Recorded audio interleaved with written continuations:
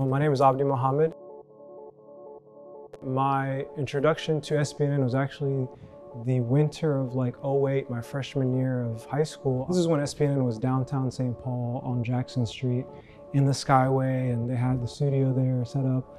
And we created like a little spy thriller for YouTube. I don't know where it ended up going, but it was this fun project that we did. And I got to be a part of a DocU, which is a really great program back in 2018 with a cohort of other great folks to learn about documentary filmmaking on a small scale, but you know, kind of on a, on a quick pace as well. So we really learned a lot. My name is Pallav Kumar.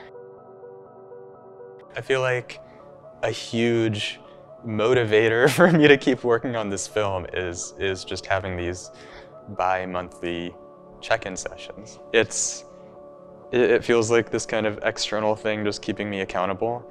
And a lot of the time, especially on a project like this where I know it's gonna be like tough to talk about and tough to like do some of these interviews, just knowing that someone else is gonna ask about it is like a big motivator for me.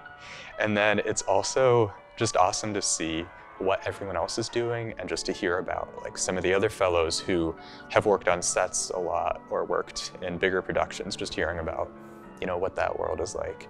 It's just awesome to hear what other people's experiences are. My name is Kelly Huang. The title of my documentary film is My Borrowed Name.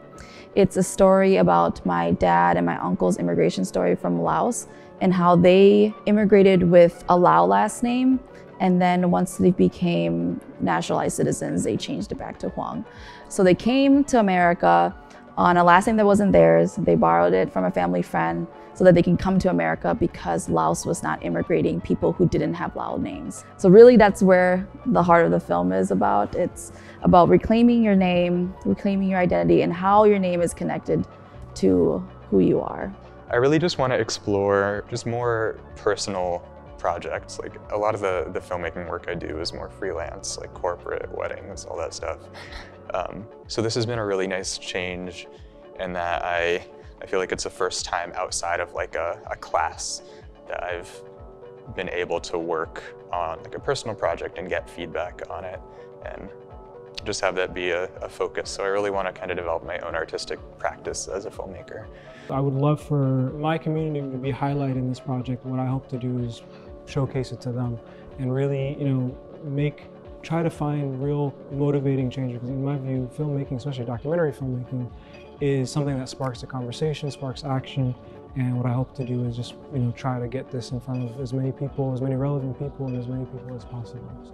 What I like to do with it is definitely see if if would it would do well in like the film festival circuit. But if anything, is definitely showing it to my family, um, showing them that I can make a film that doesn't just like have to attack their emotional trauma as much or something like that. Like actually telling a story that's important. I love to show this film to the church that sponsored my family. They talked about how important it is to bring immigrants into this country and how much they benefit our community and our society. And so I like that they had that perspective and they only sponsored two families. My family was one of them. So was, that was really cool.